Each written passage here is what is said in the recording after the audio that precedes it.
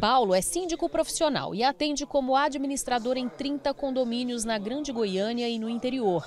Ele conta que já enfrentou situações de furtos em prédios administrados por ele. O portão estava aberto para fazer um transporte de mudança e ele aproveitou aquele momento de distração do porteiro e conseguiu entrar dentro do condomínio, né? E a partir daí ele acessou as áreas comuns, os apartamentos e, e deu início a, a, a, ao furto, né? Que ao final ele conseguiu sair com duas bicicletas de dentro do condomínio. Para garantir mais segurança, foram feitos investimentos em sistemas e equipamentos, como câmeras, identificação facial, cercas elétricas, sensores. E em 80% dos condomínios, ele faz questão da presença do porteiro. Se você tem funcionários orgânicos contratados direto pelo condomínio, você criar um protocolo de segurança. Né, procedimentos de controle de acesso de quem entra e quem sai, seja a pé e seja também de veículos.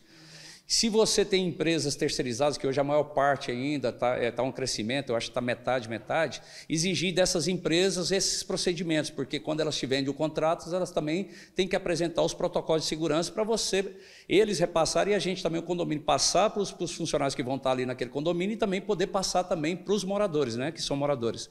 Além de que investir em tecnologia, câmaras, CFT, CFTV, é, controle facial, que antigamente usava biometria, mas agora já está partindo para o facial, que é mais seguro que a biometria. É, também investimento com cercas elétricas, sensores de presenças, né? para dificultar esse acesso. Um outro mecanismo de segurança usado aqui no condomínio é a chamada porta de intratravamento. O Paulo, que é morador, já acionou a abertura ali com a leitura facial, a identificação facial, a porta se abriu.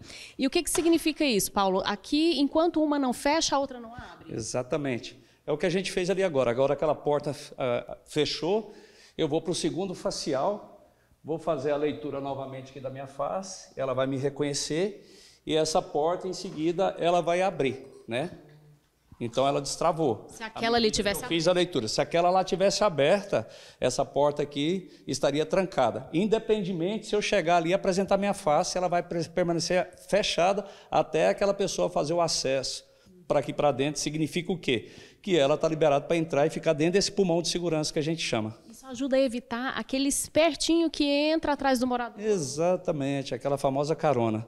Então, se ele está entrando, para evitar aquele constrangimento que a gente faz, que é o que? Ah, você é morador, evitar um constrangimento. Então, a gente, para evitar isso aqui, tem todo esse processo aqui dentro desse condomínio. Os elevadores também passaram a contar com um dispositivo de segurança. Nesse caso aqui, Paulo, como é que funciona? Olha, vamos um exemplo, igual eu estava comentando. Se, se ele conseguir burlar o porteiro, a primeira porta, a segunda porta, ele chegou aqui. Alguns condomínios já investiram nesse sistema de segurança. Esse, no caso aqui, ele é biométrico. Eu vou colocar meu dedo aqui, nesse aparelho. E ele vai apitar, dando sinal. E eu vou apertar esse apartamento aqui, que é onde eu moro. Se eu teclar nesse 12, 13, 14, 15, está vendo aqui que as luzes não acendem, então não significa que não consigo, é, a pessoa não vai conseguir chegar nesses apartamentos. Você só entra no que está cadastrado? Só no que eu estou cadastrado. Então isso aí. E só a administração faz esse cadastro, por simplesmente por segurança, porque a gente trabalha com, com empresa é, terceirizada aqui, às vezes mandam funcionários reservas, então a gente prefere que todo esse cadastro seja feito pelo síndico e pelo o braço direito, o secretário aqui, a secretária do, do síndico aqui. Esta semana, integrantes de uma quadrilha especializada em furtos de apartamentos de luxo aqui na capital foram presos em Minas Gerais. O grupo agia em bairros da região sul de Goiânia. Com os suspeitos, a polícia encontrou armas, munições, joias e dinheiro. Imagens de circuitos de segurança mostram os ladrões em portarias de prédios residenciais na capital. Eles se passavam por moradores ou prestadores de serviço.